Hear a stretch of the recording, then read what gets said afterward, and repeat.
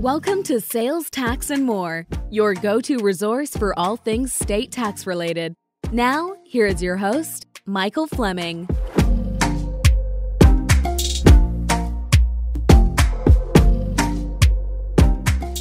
Mike Fleming here. Uh, I am the founder of Sales Tax and More and today's host of the Sales Tax and More podcast, uh, where we talk about everyone's favorite subject, uh, which is, of course, sales tax.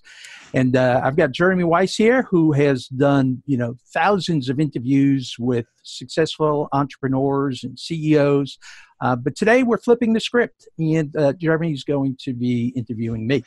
Michael, thanks for having me. And just a brief um, thing about Michael Fleming, and I consider, and many people consider, one of the USA's leading authorities when it comes to sales tax. And the episode is brought to you by Sales Tax and More. They assist companies and their trusted advisors with their sales tax needs. They offer consulting and research, registrations, returns, and much more. And over the years, they've helped thousands and thousands of sellers, both foreign and domestic, with their tax issues in the United States and Canada. You can go to salestaxandmore.com for more information and check out more episodes of the podcast as well. Um, you know, this is an interesting topic, Michael. Um, what I wrote in my notes is uh, what if you're being bullying? What if you're being bullied? Talk about what happened. Yeah, and you know, sometimes maybe it's not bullying, but a lot of times, you know, auditors are very firm with the taxpayers. And, you know, either because they think that the taxpayer doesn't know, or sometimes the auditor themselves doesn't know. Um, and in this situation, you know, a lot of states right now um, are going backwards in auditing people who they believe, you know, crossed Nexus uh, months ago or a year ago. Uh, states like Maine, um, who their economic nexus began July 1st of 2018. And they sent out a letter to everyone and said, hey, you got to prove that you didn't have nexus as of this date. Well, one of our clients uh, got that letter.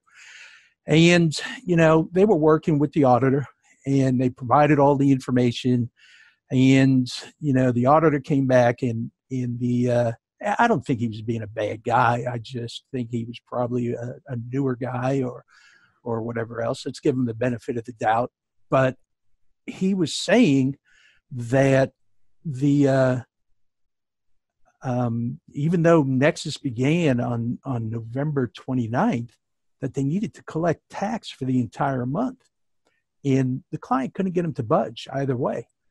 So they turned it over to us, and I uh, uh, I got on the uh, the phone with one of our people internally who was working with the client. And he said, Yeah, I can't get him to answer my phone. I said, Okay, we'll leave him a voicemail. So we gave him a call and just left a simple message saying, Hey, this is Mike Fleming with Sales Tax and More. I'm representing so and so. Here's what we're seeing.